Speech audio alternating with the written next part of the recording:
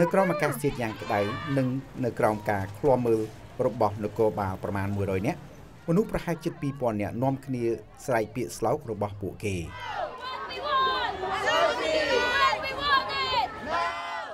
នៅក្នុងចំណោមបណ្ដាអង្គការស៊ីវិលជាច្រើនដែលនាំគ្នាធ្វើដំណើរ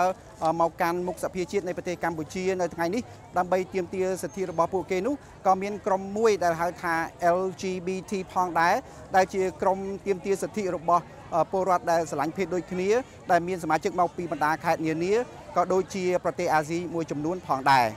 សូមឲ្យរដ្ឋាភិបាលខ្មែរចាប់ផ្ដើមគិតគូរអំពីពួកយើងពីព្រោះរដ្ឋាភិបាលគិតថាពួកយើងមិនកាលឆ្នាំ2007គាត់ថាគាត់អត់ចង់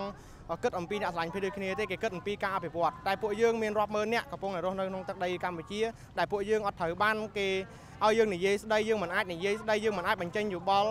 នៅក្នុងគ្រួសារនៅក្នុងភូមិគេតែងតែរើសអើងគេតែងតែជេរបចោជេរស្ដីបន្ទោសយើងគេហាមយើងអត់ឲ្យចូលសាលារៀនអត់ឲ្យយើងស្លៀកពាក់ តាមចំណងចំណូលចិត្តដែលយើងបាត់បង់សិទ្ធិទាំងអស់ហ្នឹងខ្ញុំមកថ្ងៃនេះគឺមានគោលបំណងដើម្បី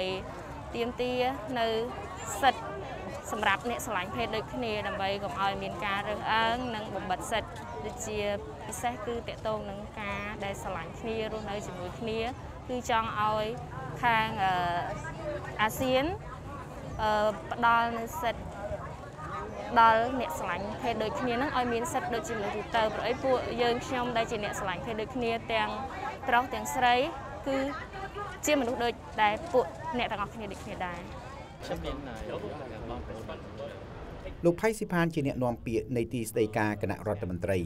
លោកថ្លែងថាក្រុមអ្នកស្រឡាញ់ភេទដូចគ្នាត្រូវធ្វើយ៉ាងណាដើម្បីឲ្យសង្គមទទួលស្គាល់ពួកគេហើយខ្ញុំថានៅតែខ្លួនខ្ញុំផ្ទាល់ខ្ញុំគ្រប់គ្រង ក៏ប៉ុន្តែទោះជាយ៉ាងណាមិនឲ្យជាអី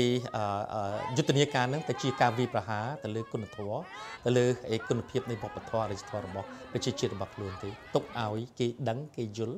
ឲ្យគេទទួលយកបានហើយគេគ្រប់គ្រងអានេះជាដំណាក់កាលដល់ពេលនោះខ្ញុំជឿជាក់ថាច្បាស់ជាច្បាប់មានបណ្ដាក្រុមអង្គការស៊ីវិលដែលមកជួបជុំគ្នានៅថ្ងៃនេះដើម្បីជួញញត្តិរបស់ខ្លួនដល់រដ្ឋសភានៅទីនេះបានសម្រេចនៅគោលបំណងរបស់ពួកគេមុននឹងបែកគ្នាទៅវិញ រាយការណ៍ពីរាជធានីភ្នំពេញខ្ញុំពលរាសី VOA